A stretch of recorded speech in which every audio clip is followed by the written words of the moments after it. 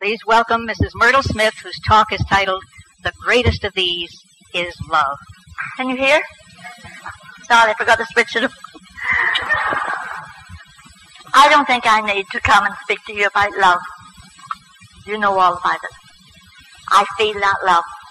The love I have felt in California has been absolutely overwhelming. And I thank you all very much for it. Thank you for inviting me here to just share some of my thoughts on love with you. Some weeks before I left home, the chairman of this committee called me. She said, Myrtle, could we please have a title for your talk? Uh, because we want to print our invitation. And I said, I don't have a title. I don't even have a talk. and she said, well, we need to go to print pretty soon. Could you think of something? so I was standing there desperately trying to think, and I thought, the greatest of these is love. Because I was thinking, what can I talk about? What can I address? Can I address loneliness? Can I address battered wives, child abuse, unemployment, lack, divisions in our movement? Will I address any of these things? And I thought, no, love, that addresses everything.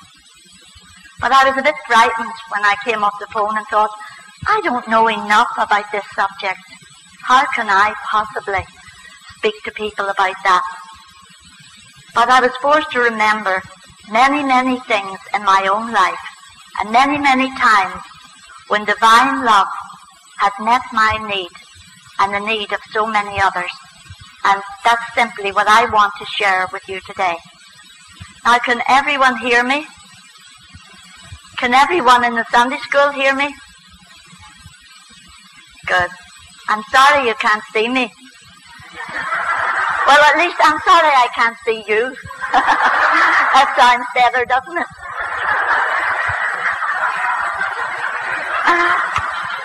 well, I usually get you all warmed up by telling you a joke, and I only know one this time.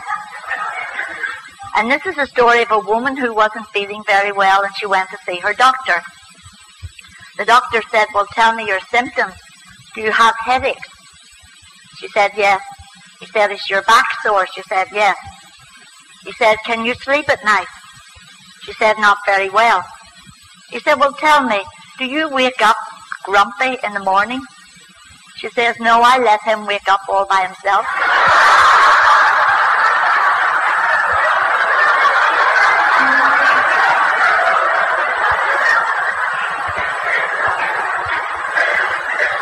I wonder why the girls are laughing harder than the men.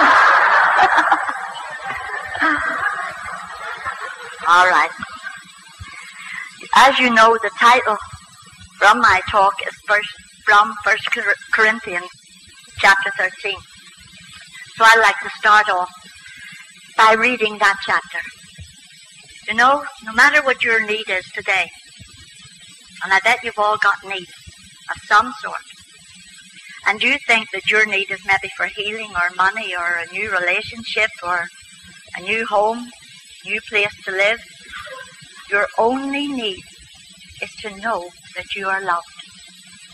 That you are loved of God. That you are the loved of love.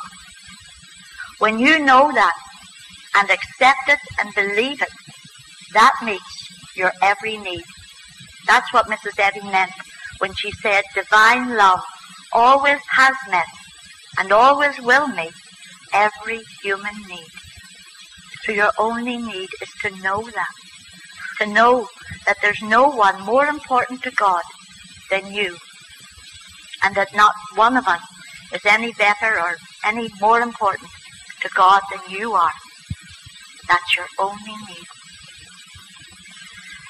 I think this chapter is so wonderful because a man who actually murdered Christians wrote this chapter after the love of God for him had touched him.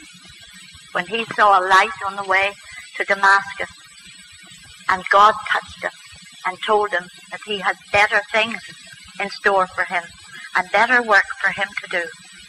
that changed that man's life so dramatically that he was able to write one of the most wonderful chapters in the Bible. Though I speak with the tongues of men and of angels, and have not charity, I am become a sounding brass or a tinkling cymbal. And though I have the gift of prophecy, and understand all mysteries and all knowledge, and though I have all faith, so that I could remove mountains, and have not charity, I am nothing.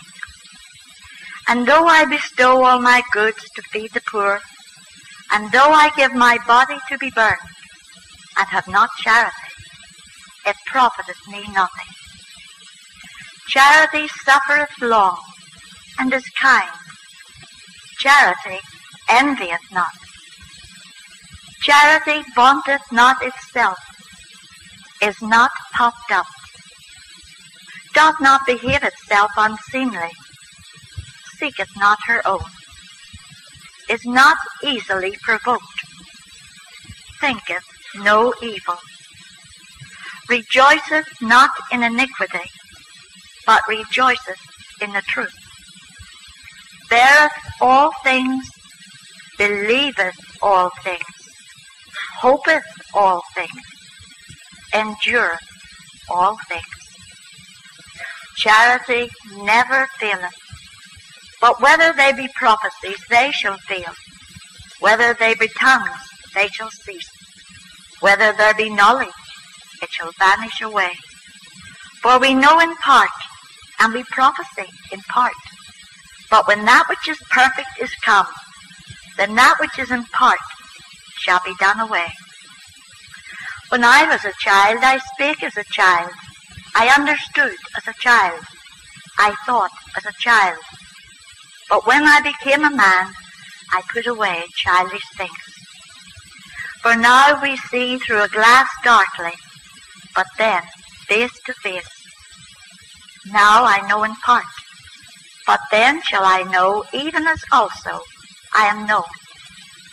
And now abideth faith, hope, charity, these three, but the greatest of these is charity. Paul said charity was greater than faith and hope that love is greater than faith and hope. And so it is. Love is the greatest power in the universe. And if we put it into operation, it's always there, but we need to put it into operation for it to become active. Just like there's always water there, but until we turn on the tap, we can't get the water. We can't get the, the supply. So we have to put this love into action. I was brought up in a very religious family. I was brought up in a Presbyterian church and I had a good foundation in the Bible and went to different Sunday schools and Christian endeavors. Learned the Bible a lot, but I was brought up to fear God. And even as a child, I found myself resisting that. And often, if my mother was ill, she would say, God must have sent it for a purpose. And I used to say, I don't believe that. What sort of a God could possibly make his child sick? Could he make his child ill in order to make him good? Why could he not make him good in the first place? So I had all these questions all my life, and when I was a young woman and things were not very happy in my own life, someone gave me two copies of the Christian Science Sentinel. And I read those over and over and over again every night in bed, and I loved them and promised myself that someday I would get the Christian Science textbook. And then my mother became critically ill.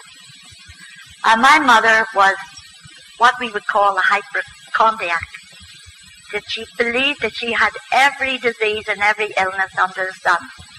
And she read all these medical journals. And she was always taking tablets and pills. And if she met someone else who went to a new doctor and got new pills, my mother had to get them too. And she ate so many of these that she would go about like a zombie. She would walk into walls. She would fall down. If she went out alone, She was usually brought home in an ambulance or by the police or something.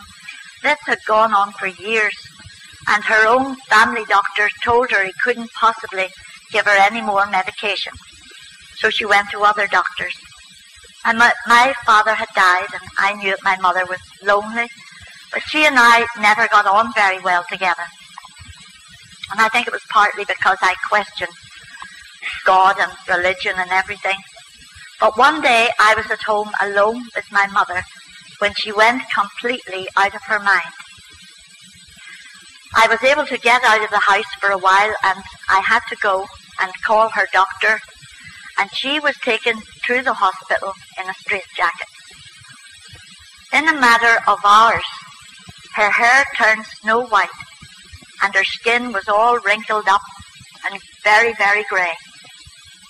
At that time, she was only aged 57. And the doctor said that she was so full of bromide that she would only live about three days. But if by some miracle she should live, she would have to spend the rest of her life in this mental institution. When we got that verdict, my family and neighbours and friends and my mother's church friends, everybody said, well, she wouldn't listen. She wouldn't listen to the advice of her doctors. But I remember thinking, I don't care what she has done. She couldn't help herself, and she doesn't deserve to die like this. She has a right to dignity. The next morning, I went to the Christian Science Church for the first time, and I asked someone how I could get in touch with a practitioner, and she gave me the Christian Science Journal. Uh, we didn't have a telephone then, so on the way home, I stopped at a telephone kiosk to call this practitioner. The first one wasn't at home, and I called the next one. And I told her this whole story about my mother and how she only had three days to live. And this voice at the other end of the phone said, That's all right, dear. I'll be thinking about you. Call me tomorrow. Well, I came off the phone and said, This lot are nuts. I just told her that my mother's dying, and she's, she's not even going to the hospital to see her. I thought she should run up and lay hands on her or something. So anyhow, that night, we were called out to the hospital. The doctor said they didn't think she would live through the night. And I had a small child at that time, so I couldn't leave the house. My two brothers and sisters went and they sat all night at the hospital and came back in the morning. They said, well, she lasted through the night, but the doctors say it'll just be a matter of hours. So I decided to go up and see her in the morning. And on the way, I called the practitioner again. I told her what was happening, and she said, That's all right, dear. I'm thinking about you. Well, she said, in the meantime, will you please sing praises to God? So I sat on the bus. It was quite a bus journey. And I sat at the back of the bus, and as low, in as low a voice as, as I could, I sang all the old hymns that I could think of.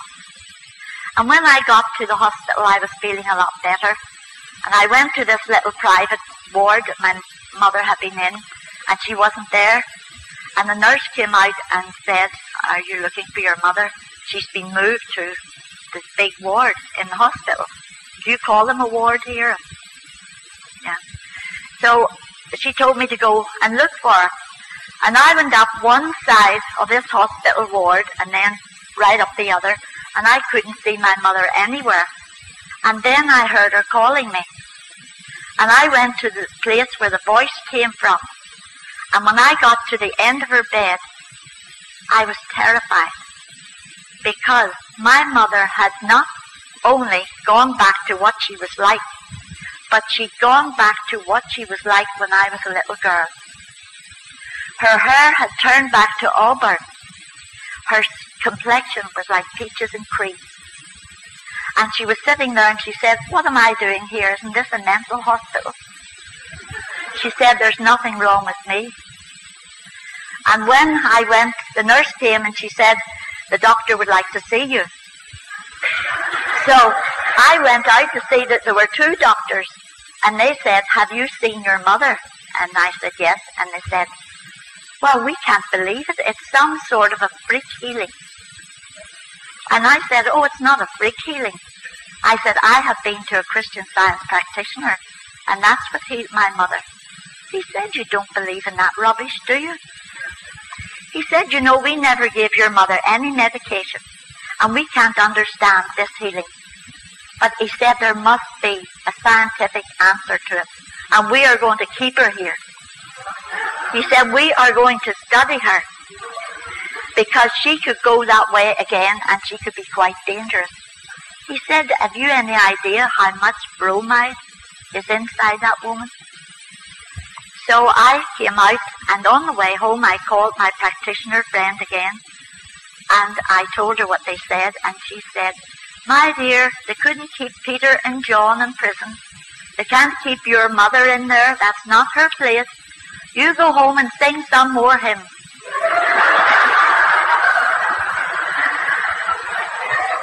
So I went home and sang some more hymns, and I told my family this good news, and they didn't believe it, and they all went up to the hospital, and they all agreed with the doctors that she should stay there because they couldn't understand it at all. And all the churches around were saying they had been praying for her, and it was a result of their prayers. But I knew that it wasn't. And the next day, when I went to see my mother, I went into the little lodge where the office was, and I said I would like to take my mother home, but I'm the youngest in the family and the rest of the family won't give their consent. And the person in attendance there said, if your mother lives with you, dear, she's your responsibility. Just sign this form and you can take her home today. And I went and brought my mother home and it was a lovely summer day and we went out in the bus. Now before that my mother had been very inward looking and always talking about her ailments and herself and her problems, and she could talk about nothing else. But that day in the bus, she was looking out at nature and she was saying, Oh, look at the sheep and the fields and the cows and the grass and the trees. It's all so beautiful. And she said, You know, I really feel as if God loves me and cares for me. And when we got off the bus in the city centre, there was a coffee shop that used to be in Belfast, and they made pancakes and the smell of coffee coming from it was lovely. It was my mother's favourite spot.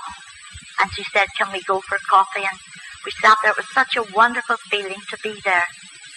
And when I went to the practitioner's home to thank her, she was a very humble woman. And she said, my dear, your mother was almost healed when you came to me. And I said, how do you make that out? She said, because you kept saying to me, I don't care what she has done. She doesn't deserve to die like this. And she said, you kept saying to me that you knew that God was a God of love and could not inflict this upon his child. She said it was the love that you felt for your mother that reached out and healed. And it was such a wonderful healing.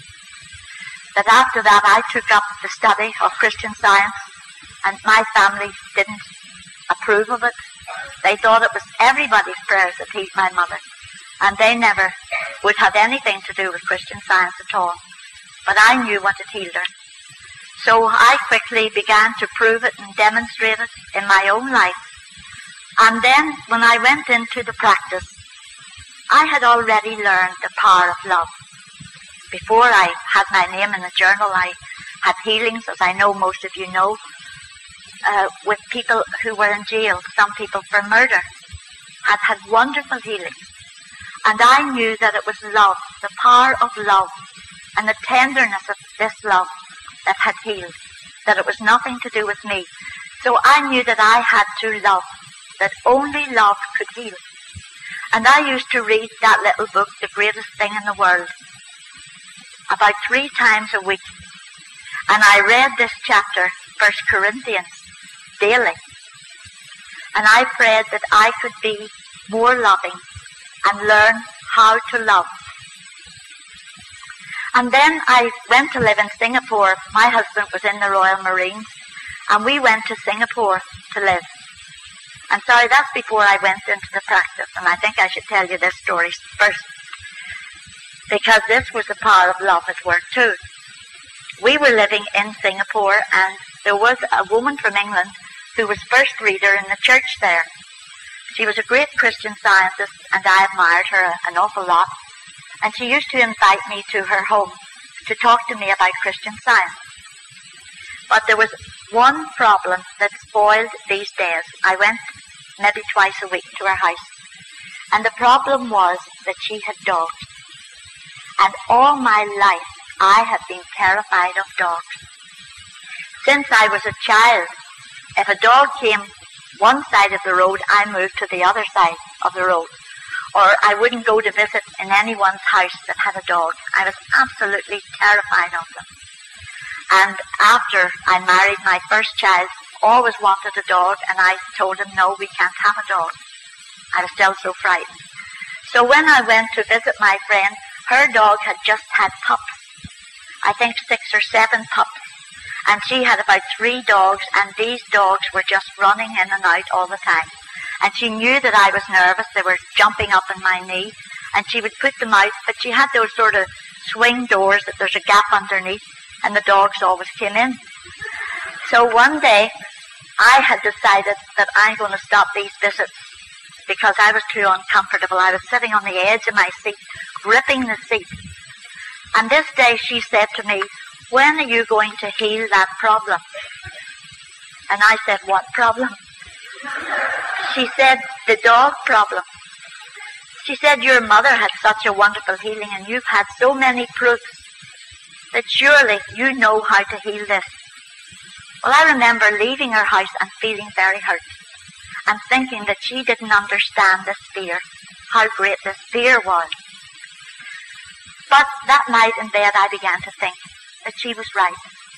That if I believed that God was love and that God made everyone and everything, then surely God made dogs. And God loved dogs, so those dogs could not harm me and I could not harm them. I began to open my thought to thinking this way, but I was still thinking I'm not going to her house next week. And I don't want a dog. Well, the very next morning, I had been invited to have coffee with someone who lived at the bottom of our hill. We lived at the top of the hill. And I was going out through my gate when there was a large black dog lying outside my gate. He looked very neglected. His he had sores in his, his coat. You, you could tell he hadn't been fed properly. And so I sort of walked very cautiously round him, and he followed me to this house at the bottom of the road. And I went in to have my coffee. I was there for two hours, and when I came out, this dog was still there. And he followed me back up the road. He didn't bark, he didn't try to jump, he didn't do anything. And all this time I was trying to know the truth about God's ideas and that he was God's idea too. So when I got back to the house, I said to the maid, if you were in the army or marines, you could have a maid, and could she please go and feed that dog and give it a drink, but she was not allowed to have it inside the gate. So she went out, she fed the dog and gave it some water, and it still lay there, and my son came home from school very excited and said, Mom, this must be one of the stray dogs. There were so many stray dogs in this country. He said, please, can we take it home? Can we bring it into the house? And I said, no, if you want to play with it, play with it outside the gate and feed it, but it's not coming in here. Well, for about three weeks, everywhere I went, this dog went. And it didn't follow anybody else. It didn't follow my son or my friends or anything, just me. So I used to go into town to do shopping, and the dog would follow me to the bus, and I would come back maybe six hours later, and that dog was still at the bus stop. And it came right all the way back up with me. So I began to speak to it. And I asked my maid what would we call the dog. And she said she thought Fan was a nice name for a dog. Now Fan in in the glossary means separator of fact from fable. So I thought, well, I have to separate the fact from the fable. And this fear is a fable. because God made this dog. Well, I began to be more friendly with it, but one night it was the monsoon season and there was a great lightning storm. Lightning and thunder and torrential rain and I was in bed and I got wakened up with this. And my first thought was that I hadn't seen the dog all day. And I, then I began to think, well, maybe he found his home or he's got another home. But the storm got worse and worse. And finally I was in tears. And I said, Father, please forgive me for thinking I couldn't love something that you made. I love that dog. Please bring him home. And I was praying like that when I heard a whimper outside the gate. And I ran out in my nightdress in the rain and I brought him in and he was soaking wet and we lay on my floor and he put his paws round my neck and he kissed me and I hugged him and I was saying to him, I do love you, I do love you, I do love you. And my little boy woke up and came in to see what the commotion was and he couldn't believe that here was a dog in our house. And he followed me into our bedroom and he slept at the foot of my bed. He never ever tried to jump up on me or anything. He just followed me. Well, soon it was time for us to be thinking about leaving Singapore and you were not allowed to bring pets with you. And I thought what is going to happen to this dog because there were so many stray dogs in Singapore that no one wanted to take them in. And then I thought, God used that dog for a purpose. He used that dog to show me his tenderness, his tender, loving care. He didn't say, You're a big grown woman, get a grip on yourself. he sent this lovely, gentle dog. So he used that dog for his purpose. So I knew that if he loved me that much, and he could teach me that lesson so gently and lovingly and tenderly that he loved that dog and that he had another mission for that dog to fulfill.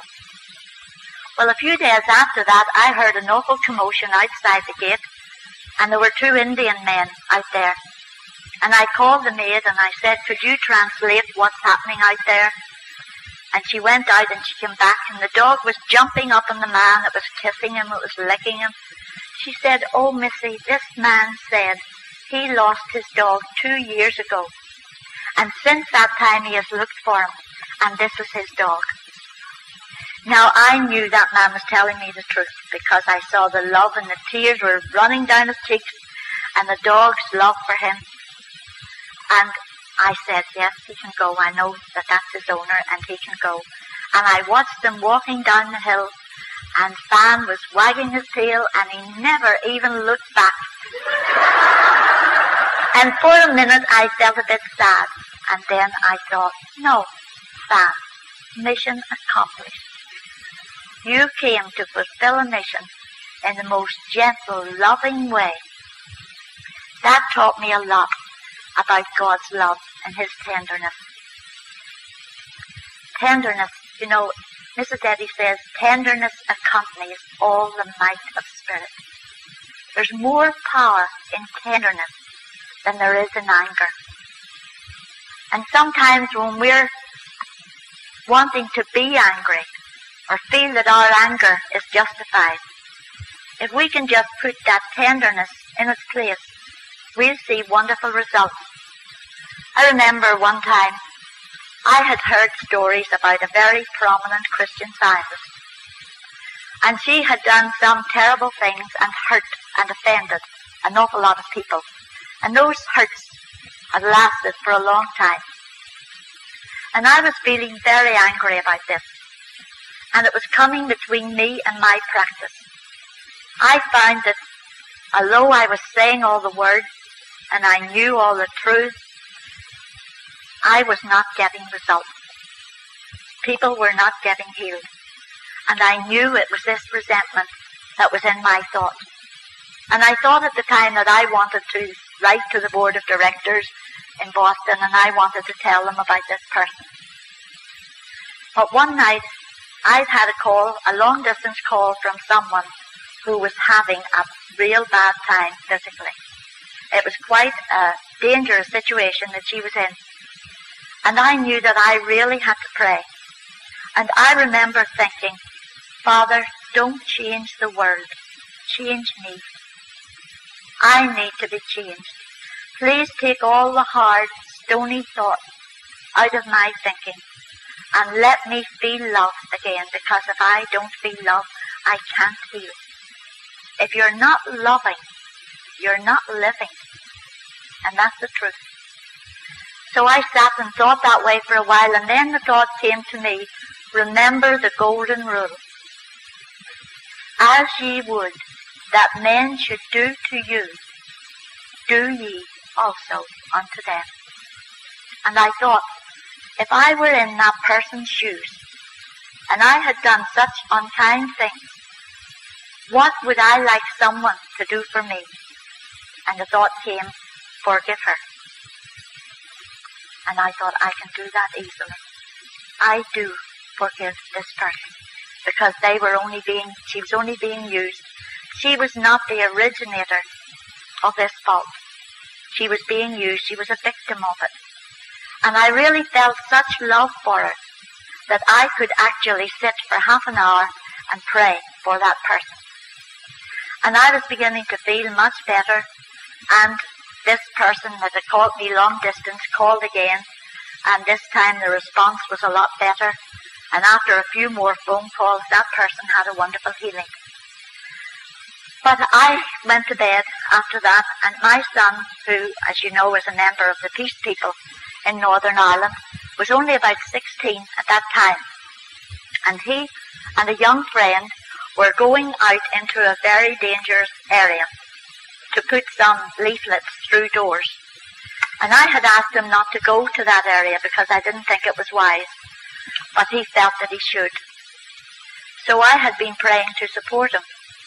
But when I got into bed, I suddenly the phone went and I answered it and they said, This is the Royal Victoria Hospital.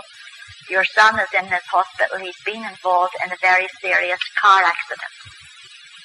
So I had to get a taxi and go to the hospital. The doctor met me and he said, How these boys are alive, I don't know. Their car skidded in the road. Some people were stoning them and they were trying to get out of this area. Their car skidded on the wet road and turned right over, and the car is a write-off. Your son is all right. He's, he's just in shock, and the other boy only had his glasses broken. I was so very, very grateful for that. But on the way home, I said to this boy he could come and stay at our house that night because he was still in a bit of shock. And his mother was an invalid and she'd been in hospital for eight years. And that she was being allowed home for one week. And the father had the whole house redecorated for her coming home and had bought a brand new car. And that was the car that he loaned to those two boys to go out in. And he was to go and fetch his wife the next day, hopefully in this car. Because they were underage, the car was not insured. And this looked so terrible, and this boy was so upset that I just knew that the forgiveness and the love and the praying that I had to do this that evening embraced that boy. It embraced his father, it embraced his mother, it embraced everything. And that divine love would compensate in this case. The next morning I went with the boy to meet his father and tell him what had happened. But his father, I'm grateful to say, embraced the boy and said, the main thing is that you weren't hurt. You're alive, and that's more important than the car. This car was brand new, and this man had had to order it. And he rang the car company that he ordered it from to tell them what had happened to the car. Within one hour, that company sent that man a brand new car for free, for nothing. Do you see the power of love that was at work that night? Look how it changed me. Look how it healed that situation between this person and me. Look how it helped my patient. and how it protected my son. Well, through that experience, I learned that the only way to protect ourselves from mental malpractice is through the Christ, is through loving the other person or people, through forgiving them, loving them, understanding them, and remembering the golden rule. As ye would that men should do to you, do to them. In the early days of my practice, I did this a lot. And I'm sorry to say that as I went on in the practice and got more advanced, I didn't read this chapter on love so often or do this work. I began to think I knew it all. But we never know it all. And love is the purpose for our church. That's the first thing I loved about Christian Science, was that it taught that God is love. I had believed that all my life, and when I first read the Christian Science textbook and read that that's what it taught, that God is love, I knew that that was the church for me.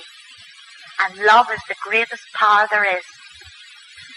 Now, no one ever loved like our Master, Christ Jesus. No one in this world, because he died for all when he didn't have to. He went through all sorts of persecutions just to prove to us that there is no death and that God is love. When he saw people who were sick, he never said, wait until you die and go to heaven. And he never said, go to a doctor. He healed them. He healed every problem that came across his path. And finally he overcame death for other people and at last for himself. And I was thinking about this last night in bed, and I was thinking about the love that Jesus had, even humanly, for his disciples. How he would make them a meal, prepare that meal, how he cared for their needs to see the needs of, of, the multitudes. He knew it wasn't enough just to, to give them the word and the truth. They had a long walk home and all that heat, and he knew it was that he had to feed them and show them in a way that they could understand right where they are that God is love. And even when he was being crucified, his thoughts were with everyone else and not himself. And I particularly love this little bit. It says, Now there stood by the cross of Jesus his mother, and his mother's sister Mary, the wife of Cleopas, and Mary Magdalene. When Jesus therefore saw his mother, and the disciple standing by whom he loved, he saith unto his mother, Woman, behold thy son. Then saith he to the disciple, Behold thy mother. And from that hour, that disciple took her unto his own home. That was one of his last acts. He didn't say, put my mother in a home and forget about it. He said to the disciple that he loved most, take care of my mother. And how much love that disciple must have had for his master when he took that woman to his own home and cared for her. How awful it must have been for her who had given birth to this wonderful child to have to stand there and see him crucified. And yet his last thoughts were for his disciples and finally for his mother. That says a lot about him. And if we want to be his disciples and follow him, we have to learn to do these healing works. But first of all, we have to become like him. We have to become loving. We have to become Christ-like. And that's what Mary Baker Eddy endeavored to do in her life. She followed him so closely in her life that the more you read about this wonderful woman, the more you realize how much she loved him. People say about our church that we don't believe in Jesus or we put Mrs. Eddy before Jesus. That is such a lie. Such a lie. You've only to read the chapter on atonement and Eucharist to find out how Mrs. Eddy loved the Master. This is uh, from a book called 12 Years with Mary Baker Eddy by Irving Tomlinson. And he says, he was talking about her teaching his class. He was went through class with Mrs. Eddy. And he said the first day's teaching on the subject of love, she concluded somewhat as follows. Love is the father who is strong in his care for his children and provides for every need. Love feeds, clothes, and shelters every one of his dear ones. Love is a mother tenderly brooding over all her children. This mother guards each one from harm, nourishes, holds close to herself, and carefully leads along the upward way. Love is a shepherd who goes forth into the darkness of night, into the storm and wind, to find the lost sheep. This shepherd of love leaves the beaten path, searches the wood and marsh, pushes aside the brambles, and seeks until the lost is found. Then he places it within his bosom and returns to heal and restore. What is the best way to bring about an instantaneous healing, she asked.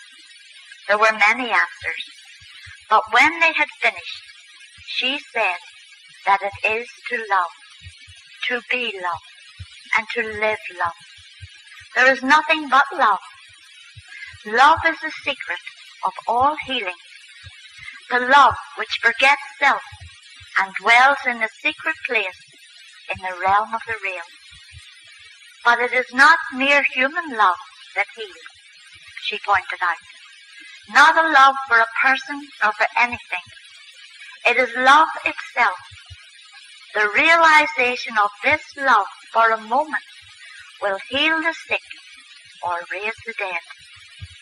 And there's a footnote here. It says, Miss Clara Barton, celebrated philanthropist and first president of the American Red Cross Society, although not a Christian scientist, said of Mrs. Eddy in an interview appearing in the New York American of January the 6th, 1908.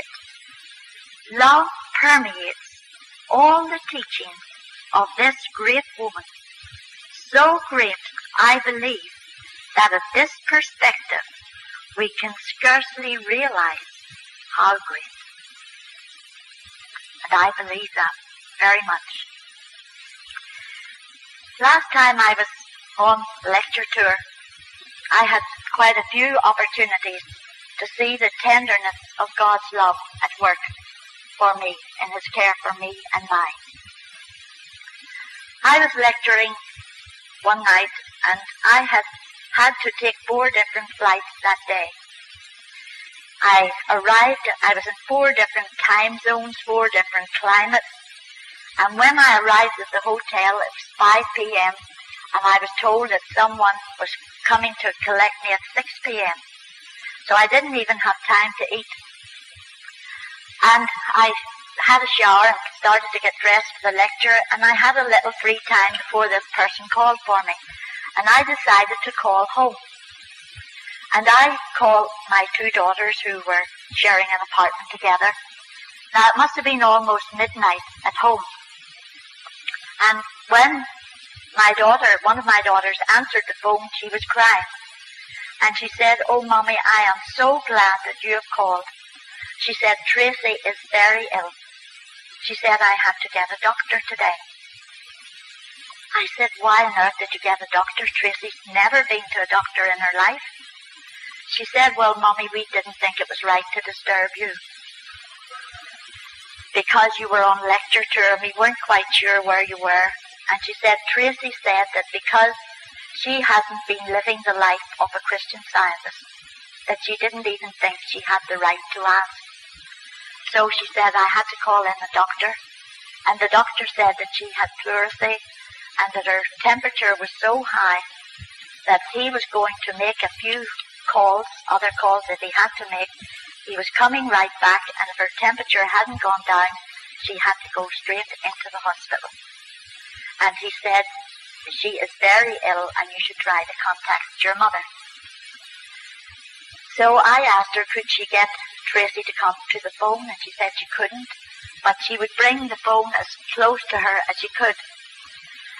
So she brought the phone, and I could hear Tracy's breathing was very labored and that she was crying. So I began to tell her that God loved her and that everything that she needed was right there. And then she said, Mommy, please pray for me. I'm frightened. And I put down that phone and I was in tears. And I thought, Myrtle, you're a good kid telling her God's right there, meeting her needs. I prayed to be calm. And then I remembered a story that I heard another Christian scientist give once when I was in Boston. He said that he was the COP for a very large area. And one day he had a special meeting to attend. It was a very important meeting. And his little boy, about five, was very ill. His wife was also a Christian science practitioner, and they had both been really working about this problem. But the situation got worse. And he was about to go into the meeting when his wife called and she said, I think you better come home because this looks very serious to me. He said, Well, I'll pray about it. And he said he came in and he sat down at his desk and he prayed sincerely that God would give him an answer and show him what to do.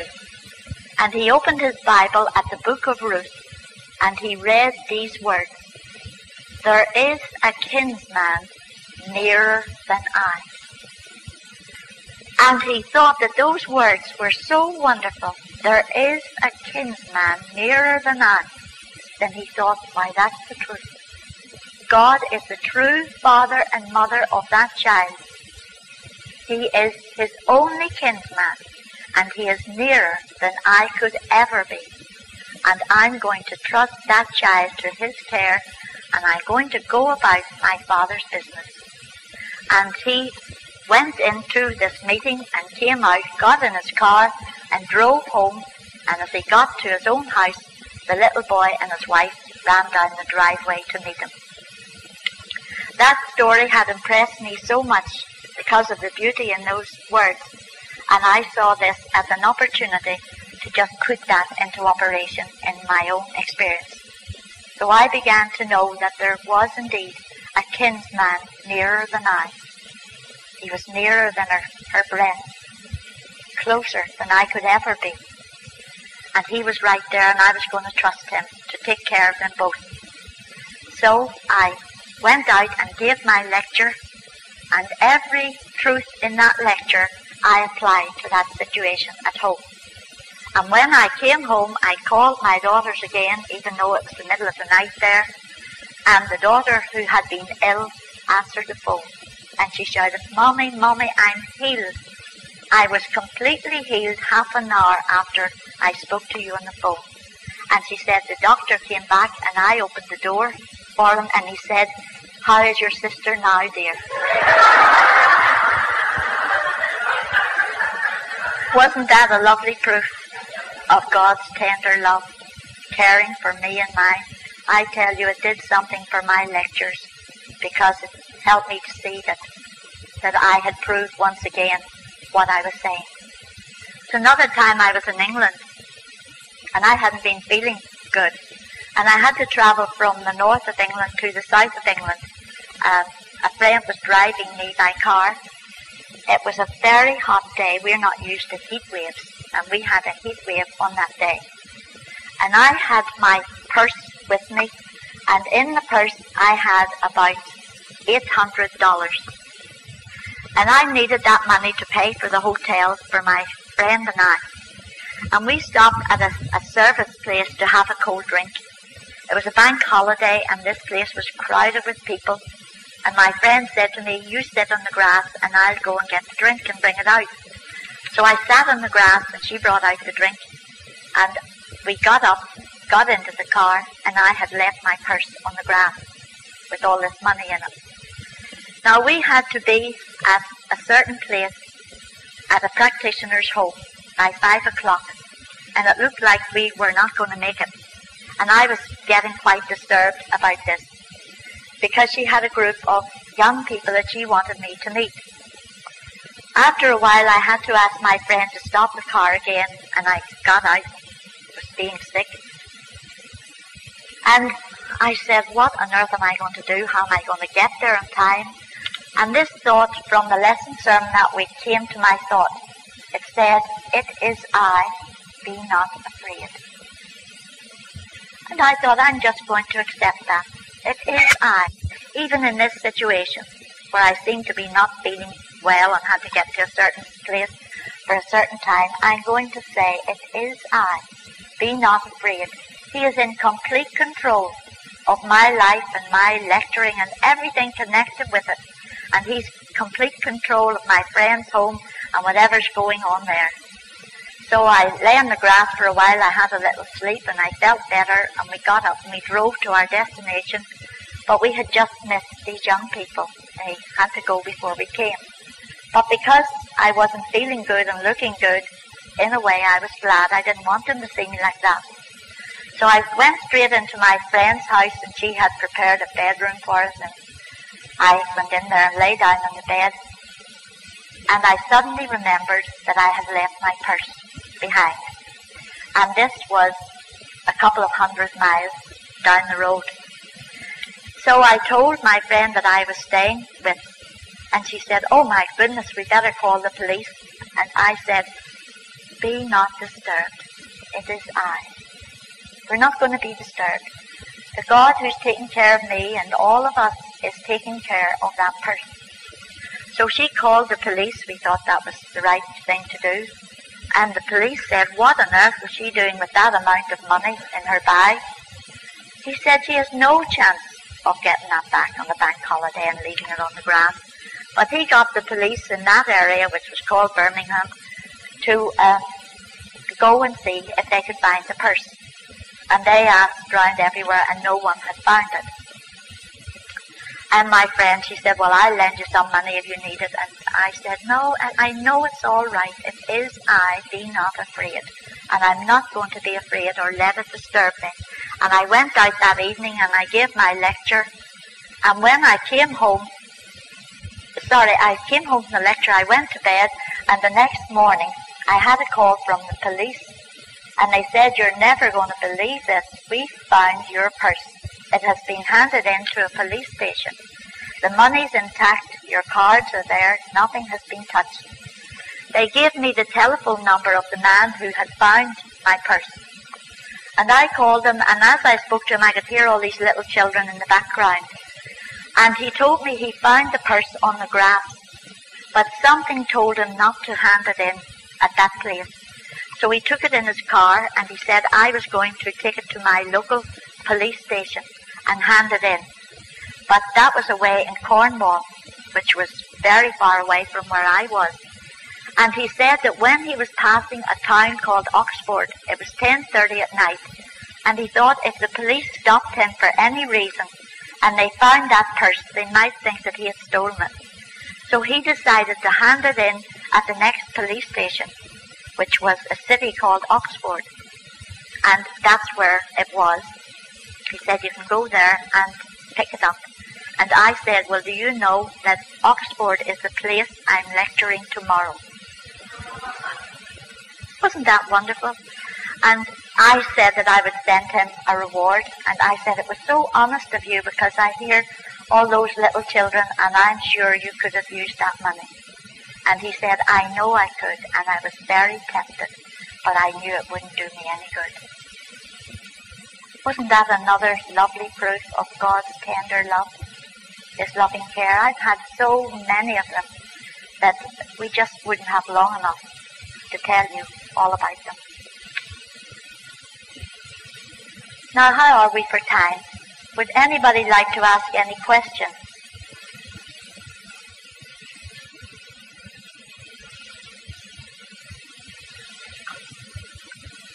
Well, I didn't think they were shy in California.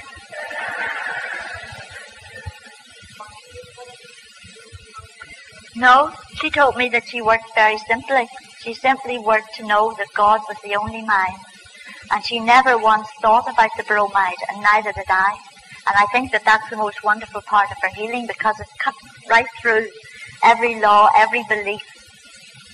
You know that that bromide had damaged her. And when she was healed, she never went back onto that medication. She never took uh, tablets anymore. Oh, sorry. Right. Scientists in having a healing influence in um, uh, uh, other parts of the world where there's a need for healing. And of course, you've had a privilege of of uh, be, working in the, the, problems of the Northern Ireland situation. Now we hear a lot about uh, somewhat similar problems in the former Yugoslavia and in Somalia and other parts of Africa. And I personally know of some problems around the borders of the former Soviet Union, which are similar kinds of struggles between people. And I wonder from your experience in Northern Ireland if you can share some ideas that we might use in, in working for healing in these uh, areas. Well, I think it's just what we've been discussing. It's loving. It's loving those areas. Some years ago, when when troubles in South Africa were very bad, I felt that I should pray for that country, and I prayed for the country, and I prayed for the practitioners and teachers who were there, that to know that, and all the Christian scientists that they were sufficient to need meet the needs of that country, and I knew that it didn't matter if, if the belief was black and white or Catholic or Protestant. It was nothing but a belief in a power apart from God and a belief that people are different. We're all God's children. So I embraced that country in that love and knew that they were all God's children and God was taking such wonderful loving care of them. And you know, late that night, about 11.30, I had two calls right after, one right after the other, and they were both from that country, people wanting help. Now, I've never had a call from that country before, and it showed me the power of thought. We really are ambassadors for Christ. To sit at home and reach out and embrace any situation in this love is doing more than you know. And mortal mind tries to give us the runaround and says, oh, but we should be up humanly doing something. It's not the human doing that does it. Years ago, my sister, my only sister's husband, was crippled with arthritis. And she had an awful job nursing him.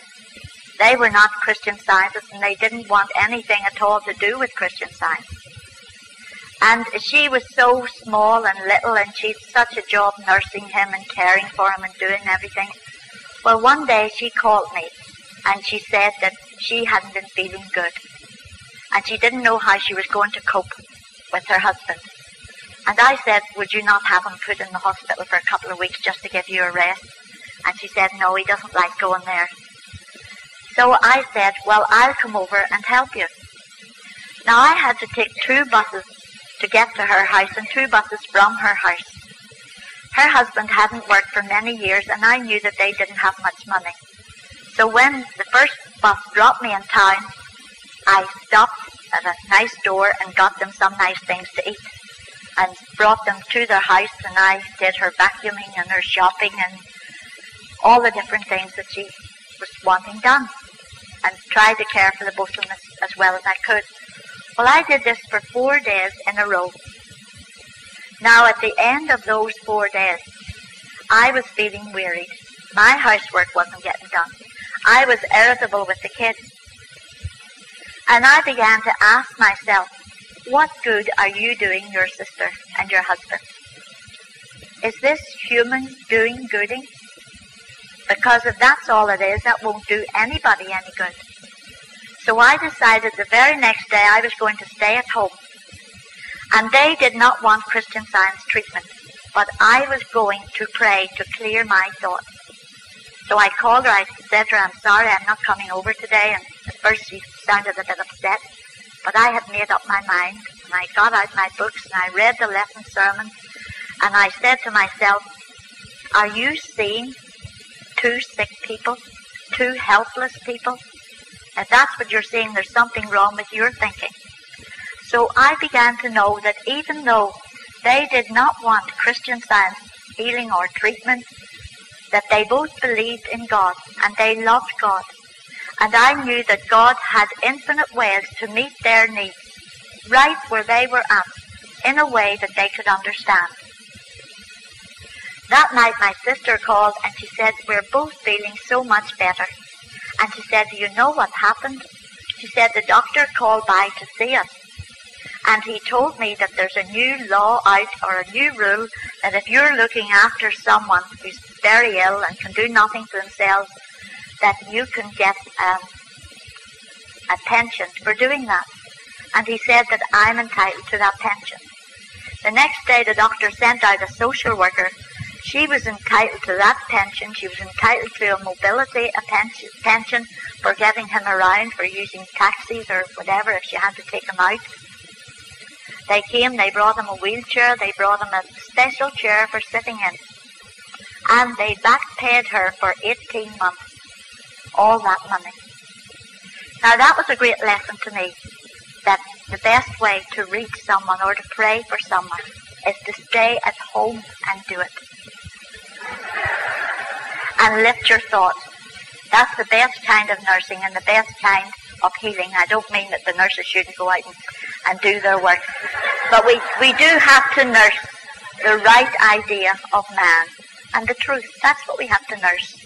That's what we're nursing every day. We're all nurses. And we have to nurse and cherish the truth that God is love and that He's caring for everyone. Now, there's just one other story I'd like to tell you. When I was in my early days of practice, I had been praying one week with First Corinthians chapter 13. I had been reading the little book, The Greatest Thing in the World. I had to do this because of the problem in my marriage as well as for, for my practice. I had to keep myself very much on top of this. And I had been praying all that week, and on the Saturday morning, I just felt as if I loved the whole wide world. I was so full of love. And I had a call from a young man, and he said, You don't know me. I don't go to your church. I'm not even of your religion. But someone of your religion gave me your phone number and said that maybe you could help my wife and I. He said, We have three children, and in the last three months, two of them have died with a hole in the heart. And we've just been told that our third child has a hole in the heart and won't live very long. And he said, we just can't take it or face it anymore. So I invited them to come to my home. And I talked to them and told them that God is love and that He was the father and the mother of those children. Now this little boy, it was a cold day and his mother was wearing a fur coat and she had the child up inside her coat. They told me he was seven, but he looked like he was about four. He was so frail and so thin and so weak. And that poor mother, she could hardly look at me, the agony that was in her eyes. So I talked to him a lot about God's love and, and told him that God loved them all and cared for those children. And there was only one heart, and that was the heart of divine and infinite love. And that heart couldn't be damaged, and there was no hole in it, there was no gap in it. And I was saying to her that this seeming vacuum is already filled with divine love. Well, that little boy fell asleep. And after a while, they said they would go home and they said they wanted me to pray for them. As they were about to go through the door, I happened to ask them, Do you go to church? And they said, No, not very often. And they told me that they were of a different religion entirely to me. And I saw a look of fear come across the wife's face. So after they'd been home, about an hour after that, I had a call and a woman said that the little boy had gone into a, a deep state of unconsciousness. And he was very feverish and very hot. And she was crying. And I tried to calm her again, and I knew the truth, and I said to her, call me back in half an hour. She called me back in half an hour, and the situation was worse. And this time she was so panic stricken that I suddenly realized she felt she had to get a doctor. And I said to her, My dear, do you feel you need to call in a doctor? She said, Yes, I do. To me, she said, just doesn't seem to be enough to pray. I have to do something humanly as well. And I said, Well, that's okay by me. She said, I think maybe you better stop praying. So I came off the phone and I was in tears. And I said, Father, what do I do about this? How do I handle this? And then I thought about my mother and how I thought I don't care what she's done. And I suddenly said, I don't care what this young woman says. She's not really saying to me, I want you to stop praying. She's saying, I want to see somebody doing something to restore my child. I'm going to finish my work. And I went on and I finished my treatment and my work. And the next day I didn't hear anything. Days went by and I didn't hear anything. And then a member of my church told me that she had been in a little Bangor church, which I am now a member of. And that a member there, who was the man who had introduced this couple to me, stood up and said about this wonderful healing that this child was healed of the hole in the heart. And I hadn't been told. So I called him and asked him was it true, and he said yes. He said I thought that you knew. He said, you know, she's the wife is very frightened of her church. And I said, well, I could understand that, but the important thing was that the child was alive.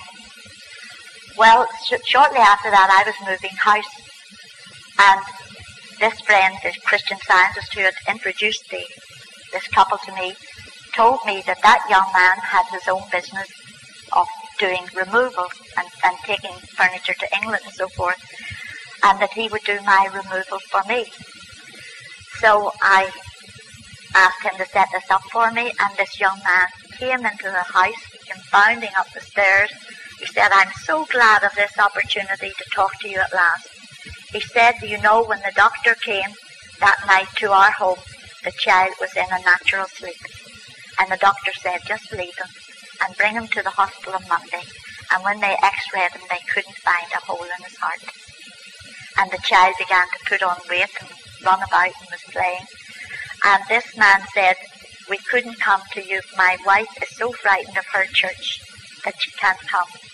But he said, because I'm so grateful, I'm not charging you for moving your furniture. And he didn't. And when I moved house, that young couple lived very close to me and I could watch the child out playing football and rugby and all sorts of things. It was lovely. And one day at lunchtime, there was a little knock on my front door just like this. And I went out, and the little boy was standing there, and he had a bar of chocolate, and it was half melted. and he said, Lady, could I give this to you? I remember you prayed for me, and I got better. Wasn't that nice? You see, that was the power of love.